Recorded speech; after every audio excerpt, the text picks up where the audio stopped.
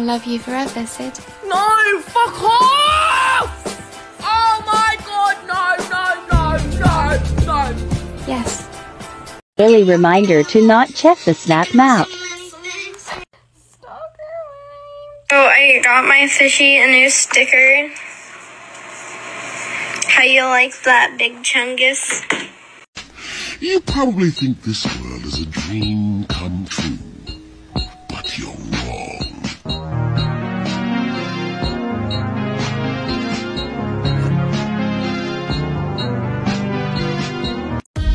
Surveillance video of the suspected serial killer terrorizing Chicago. That is the video of a serial killer still at large in the city of Chicago.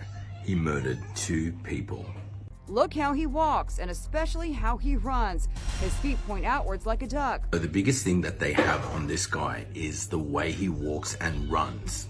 That walk is very distinctive from the average person. Here's the suspect on Sunday walking down a quiet street. He's wearing a black tracksuit with a hat and scarf covering his face on a warm day. He murdered two people. One who was just walking his dog in the park, and another guy who was playing Pokemon Go. They both got shot in the head.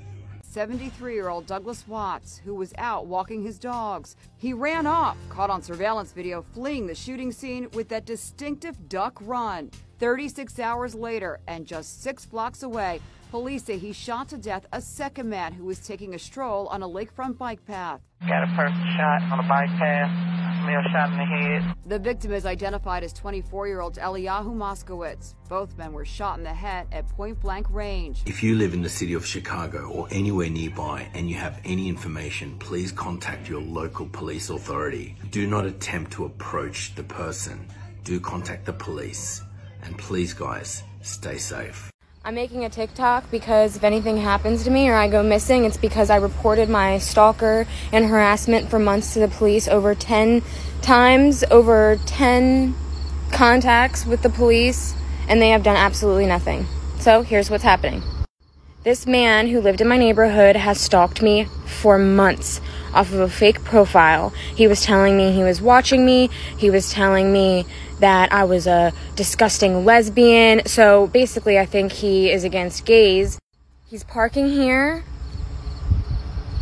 and his home is all the way over there, and there's plenty of space.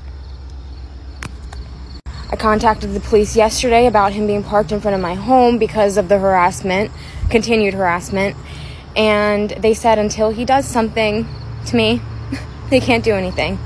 So, if there's anyone that has any legal advice or any officers that would like to help, Guys, I dead ass just got off work, bro. It's five in the morning. I work graveyard, and my ex is literally here, bro. Look, there's a security right here, and that's her car leaving right now, bro. Look at that. That's her license plate right here. This is my. This is her, bro. Dude, I just got a gun fucking pulled on me.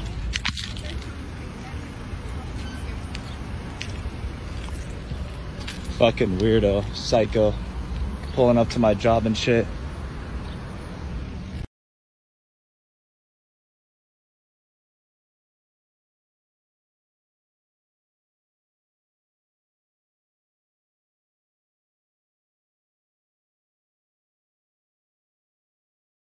You're watching this, this is a sign for you to learn how to protect yourself. And I'm going to teach you in a few steps. First, if a stalker comes up to you, make sure you're fully equipped with your hands like this. All you gotta do is make sure your hand is gripped like this. Make sure that your hand is not on the inside because when impact hits, that might break your hand. And you're gonna do this with both hands. So when you're ready, you're gonna swing to the momentum ready to fight until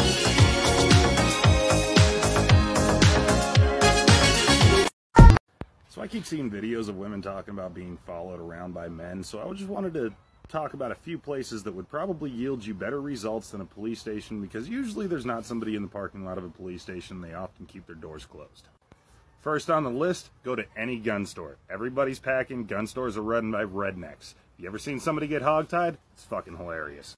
Second on the list would be a mechanic shop. There's uh, going to be at least three or four dudes that are already pissed off because they can't find their 10 millimeter socket and they have lots of tools that they could hurt people with. Third on the list, go to any bar that has bouncers. I promise you, as somebody who has worked as a bouncer men that work as bouncers see how shitty drunk men are and even sober guys towards women, and they're not going to tolerate it. They will have your back. And my personal favorite would be go to a martial arts dojo. Everybody at a martial arts dojo is well versed in the language of educational beatdowns. Just make sure that you have your camera ready for the fun that ensues afterwards.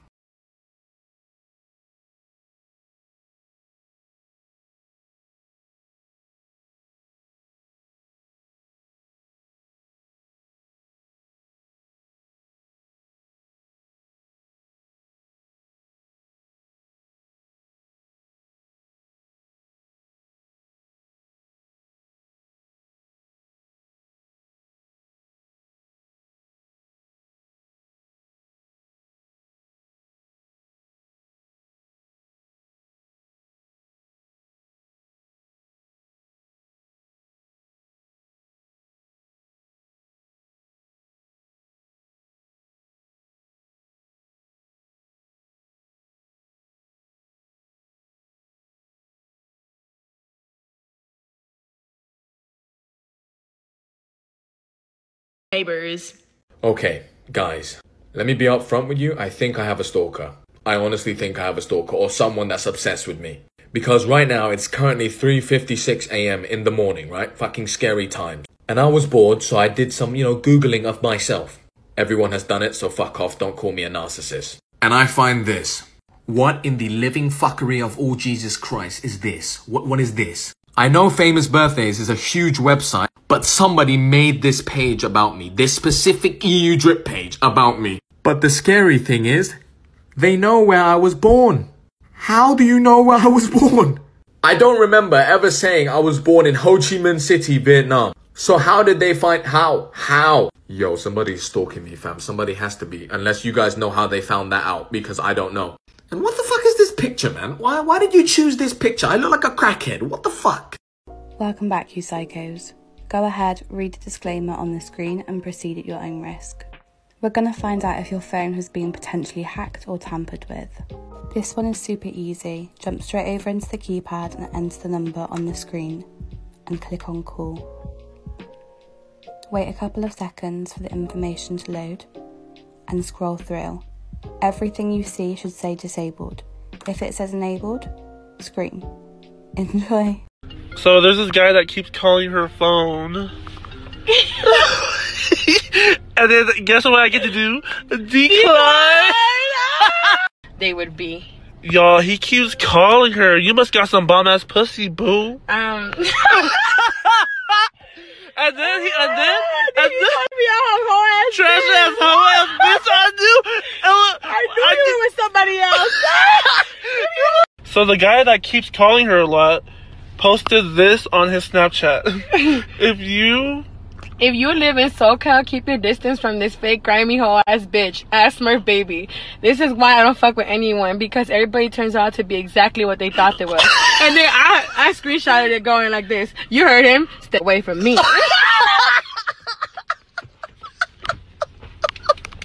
Welcome to Storytime and Makeup. Today's story is about my stalker. At a church retreat, I met this girl in small group. She was friendly and talked about how she was bummed her friend from church couldn't go to the retreat. We ended up hanging out during the retreat and exchanged numbers at the end of the weekend. She texted me right away about how much fun she had had and how we should hang out soon.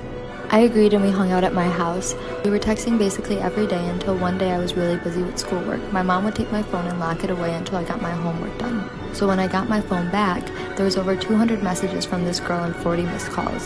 So I texted her letting her know I was okay and just busy. In the time I hadn't responded, she DM'd my boyfriend and BFF on Facebook multiple times demanding to know where I was. When they said that they didn't know where I was, she said that they were lying. Obviously, we found this odd, so I distanced myself from her. I ended up talking to someone else who knew her from the retreat. They said that she was always kind of eccentric, but when I asked who her friend was that couldn't go, they had no clue who I was talking about and said no one by that name went to the church. I kept my distance from her until one day I couldn't. Part 2 soon.